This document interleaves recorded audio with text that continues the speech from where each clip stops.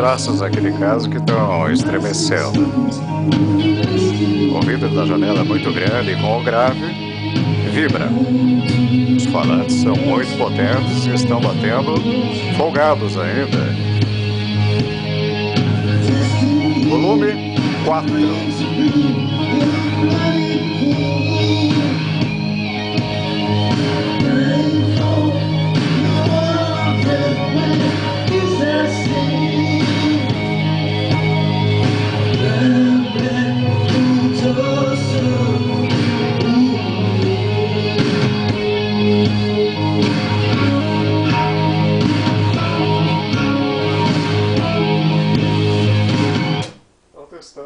Aí o cassete deck.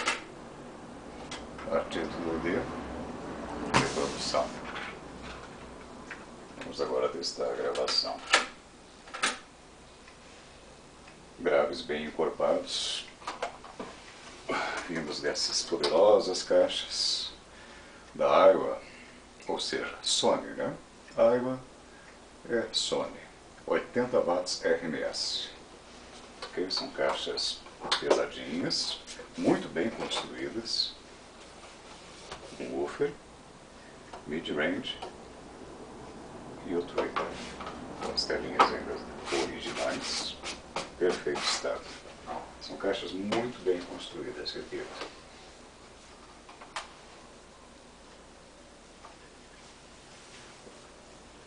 Receiver R343 da Gradiente. Um receiver muito bom dos anos 80. Bacana dele é que as FMs são quartz. As FMs dão precisão de sintonia.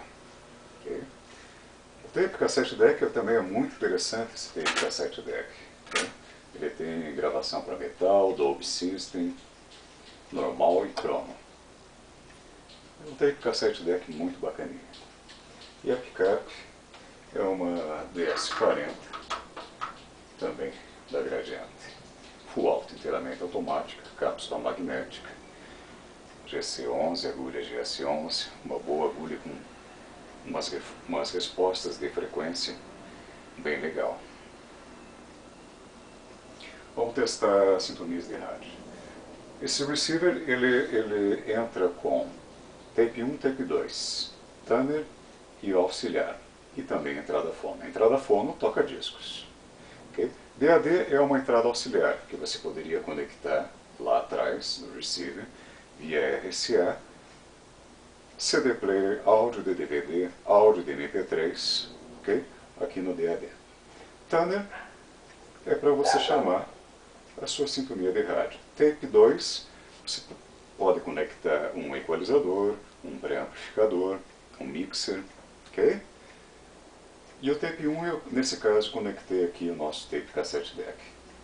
É um conjunto modulado, ok? Olha aqui. Tá?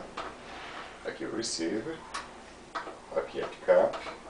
Isso aqui se chama conjunto modulado, módulo por módulo. Receiver, tape cassete deck e pickup. Thunder, baixar um pouco o volume. 15 anos de carreira em seu mais novo show. Sintonias Acabou de ser encerrado aqui no Palácio. automática.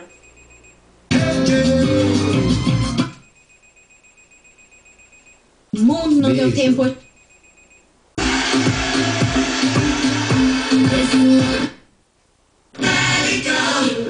Faz parte sentir saudade. Faz parte sentir saudade. Não precisa mais mudar. Se acha que eu vou chorar,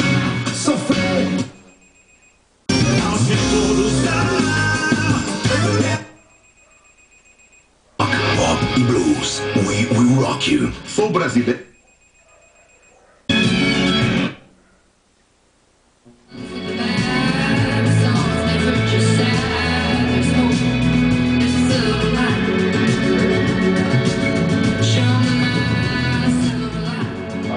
Pode memorizar tá? as sintonias de rádio, até seis sintonias de rádio. E aqui você tem a AM.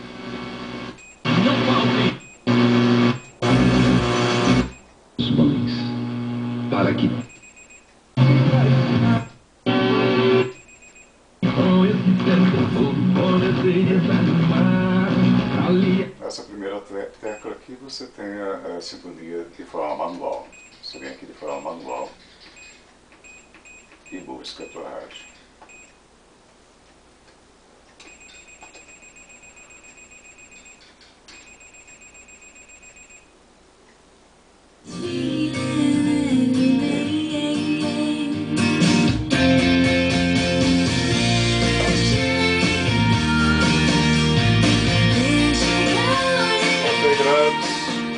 Agudos, canal esquerdo, canal direito. Aqui seria para mais um par de caixas acústicas B. Né? Teria quatro caixas acústicas A mais B. Não é o caso agora. Load, que carrega os graves, estéreo e mono.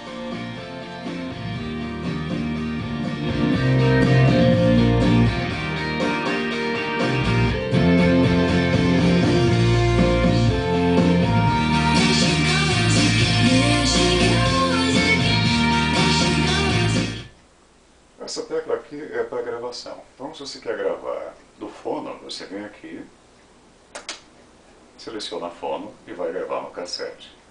Se você quer, quer gravar do teu auxiliar, que é o DAD, coloca aqui em auxiliar DAD. Como agora estamos em Tanner, vamos puxar o áudio do Tanner. Coloquei aqui em Tanner, ok? Play e o rec juntos. Olha lá. Jornal Counter para mim saber onde iniciei a gravação. Nível da gravação. Somente flechão mais 5. Estou gravando com o Dolby aqui, acionar o Dolby. Acendeu a luzinha verde.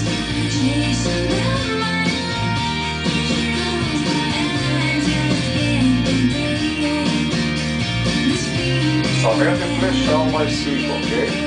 Não pode ficar sempre aceso.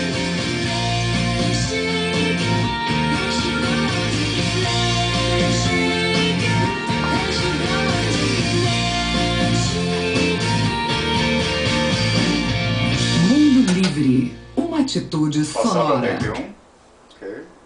Review, onde iniciei a gravação. Vai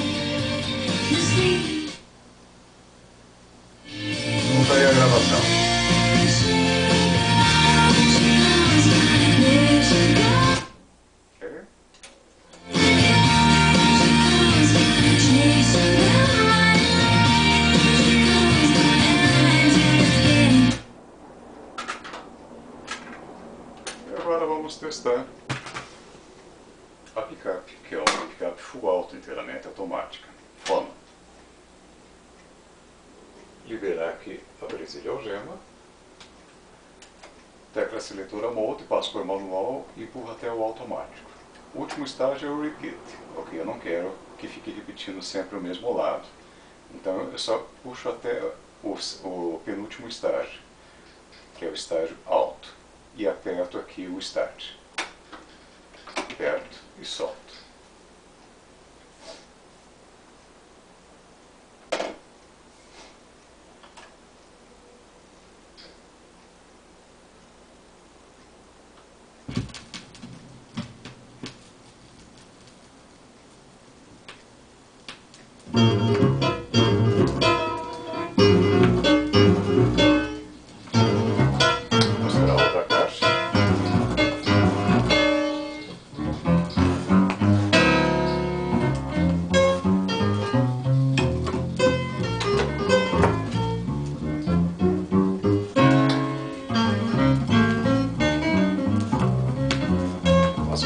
Acústicas muito boas. 80 watts RMS.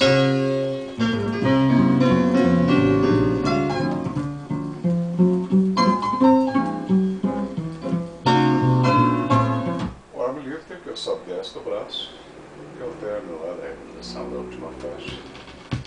Sempre haverá um retorno do braço de forma automática. Com o desligamento do toca-discos por completo.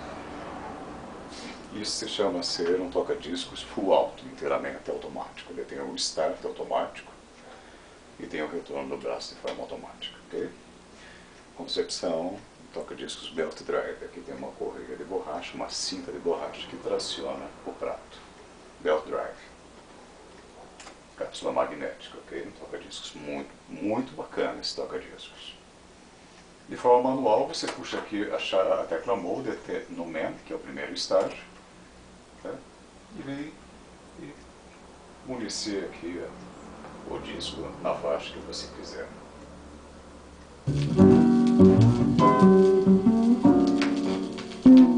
Eu sempre aconselho usar ele de forma manual. Só utilize o modo de retorno automático do braço.